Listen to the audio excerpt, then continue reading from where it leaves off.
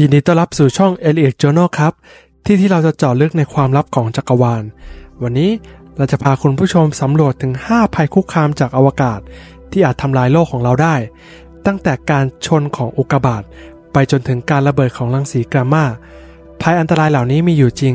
แต่เราควรกังวลแค่ไหน มาดูกันเลย ภัยคุกคามที่ 1 การชนของอุกกาบาตเริ่มจากการชนของอุกกาบาตโลกเคยถูกชนมาก่อน และมันมีโอกาสที่จะเกิดขึ้นอีกจำได้ไหมว่าไดโนเสาร์นั้นสูญพันธุ์ไปเมื่อประมาณ 66 ล้านปีก่อน ส่วนใหญ่นักวิทยาศาสตร์เชื่อว่า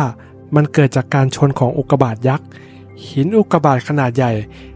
ที่โคจรรอบดวงอาทิตย์ และบางดวงก็โคจร ใกล้โลกของเรา แม้ว่าองค์กรนาซาจะติดตามวัตถุเหล่านี้หลายดวง แต่ก็ยังมีโอกาสที่อุกกาบาตที่ไม่รู้จัก จะเด็ดรอดและชนโลกได้ ในปี 2013 อุกกาบาตซึ่งมีขนาดเพียง 20 เมตร ระเบิดขึ้นเหนือประเทศรัสเซียทำให้มีผู้บาดเจ็บกว่า 1,000 คนลองได้ถึงอุกกาบาตขนาด 10 กิโลเมตร ที่ทำให้ไดโนเสาร์นั้นสูญพันธุ์ สร้างความเสียหายจะเกิดขึ้นทั่วโลกทำลายเมือง เปลี่ยนแปลงสภาพอากาศ และสร้างสึนามิขนาดใหญ่ แม้ว่าโอกาสที่อุกกาบาตขนาดใหญ่มาชนโลกจะต่ำแต่ผลกระทบที่เกิดขึ้นจะเป็นหายนะอย่างแน่นอน 2. การระเบิดของซูเปอร์โนวา ต่อไปเรามาพูดถึงการระเบิดของซูเปอร์โนวา เมื่อดาวฤกษ์ขนาดใหญ่สิ้นอายุไข มันจะระเบิดในเหตุการณ์ที่เรียกว่าซูเปอร์โนวา การระเบิดนี้ปล่อยพลังงานจำนวนมหาศาล รวมถึงรังสีที่สามารถทำลายชั้นโอโซนของโลก ทำให้เรานั้นถูกแสงอัลตราไวโอเลตที่อันตรายเล่นงาน ดาวบีเทลจุสหนึ่งในดาวที่สว่างที่สุดในท้องฟ้ายามค่ำคืน กำลังเข้าสู่ช่วงสุดท้ายของชีวิต แม้ว่ามันจะอยู่ห่างจากเรา แต่ถ้ามีซูเปอร์โนวาใกล้กว่า 50 ปีแสง มันอาจสร้างความเสียหายร้ายแรงต่อโลก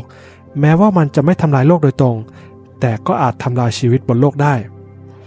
แม้ว่าซูเปอร์โนวาจะเกิดขึ้นไม่บ่อย แต่พวกมันมีพลังงานมากพอที่จะเปลี่ยนแปลงทั้งกาแล็กซีและหากมันเกิดใกล้โลก เราอาจจะไม่มีเวลาที่จะเตรียมตัวเลย 3. รังสีแกมมา รังสีแกมมาขึ้นมรณะจากจักรวาลที่สามารถปล่อยพลังงานมากกว่าแสงอาทิตย์ ทั้งหมดในเวลาเพียงไม่กี่วินาที รังสีแกมมาเชื่อว่า มีสาเหตุมาจากการยุบตัวของดาวฤกษ์ขนาดใหญ่ หรือการรวมตัวของดาวนิวตรอน หากรังสีแกมมาพุ่งตรงมายังโลก มันอาจทำลายชั้นบรรยากาศและทำให้ผิวโลกนั้นถูกเผาไหม้นักวิทยาศาสตร์เชื่อว่ารังสีแกมมาส่วนใหญ่เกิดขึ้นในกาแล็กซีที่ห่างไกล ทำให้โอกาสที่เราจะพบเจอนั้นน้อยมาก แต่หากมันเกิดขึ้น ผลกระทบจะเป็นหายนะถึงการสูญพันธุ์ทันที แต่โชคดีที่เหตุการณ์นี้เกิดขึ้นน้อยมาก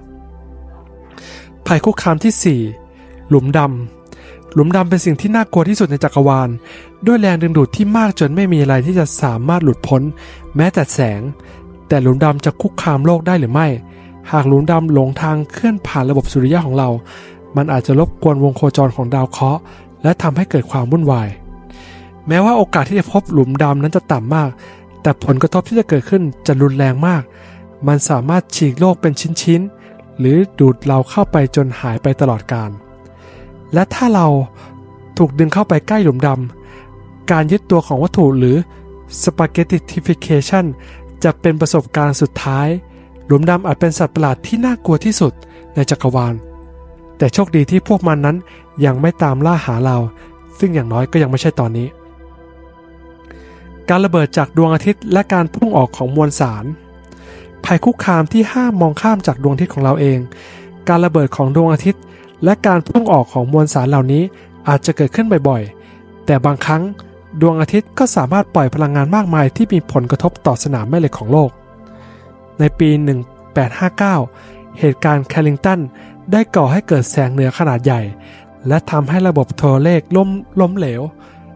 หากเหตุการณ์เดียวกันนี้เกิดขึ้นในปัจจุบัน มันอาจจะทำลายดาวเทียม ขัดขวางระบบ GPS และทำให้ระบบไฟฟ้าทั่วโลกนั้นดับลงทำให้ทวีปทั้งหลายจมอยู่ในความมืด แม้ว่าเหตุการณ์นี้จะไม่ทำลายโลก แต่มันอาจจะทำให้สังคมนั้นล่มสลายได้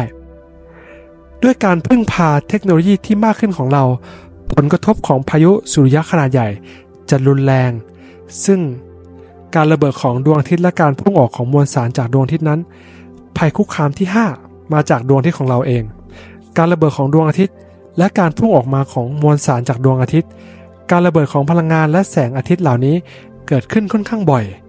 แต่บางครั้งดวงอาทิตย์จะปล่อยอนุภาคประจุไฟฟ้าจำนวนมหาศาลออกมา ซึ่งสามารถส่งผลกระทบต่อสนามแม่เหล็กของโลก แม้ว่าเหตุการณ์นี้จะไม่ทำลายโลก แต่มันจะทำให้สังคมยุคใหม่เกิดความโกลาหล ด้วยการพึ่งพาเทคโนโลยีที่มากขึ้นของเรา ผลกระทบของพายุสุริยะครั้งใหญ่ จะเป็นเรื่องที่น่ากังวลมาก นักวิทยาศาสตร์กำลังจับตาดวงอาทิตย์อย่างใกล้ชิด แต่คำถามก็ยังคงอยู่ก็คือ เราพร้อมรับมือกับสิ่งเหล่านี้แล้วหรือยัง ในท้ายที่สุดแล้ว อะไรคือภัยคุกคามที่ใหญ่ที่สุดต่อโลกจากอวกาศไม่ว่าจะเป็นอุกกาบาตยักษ์ หรือหลุมดำที่หลงทางเข้ามา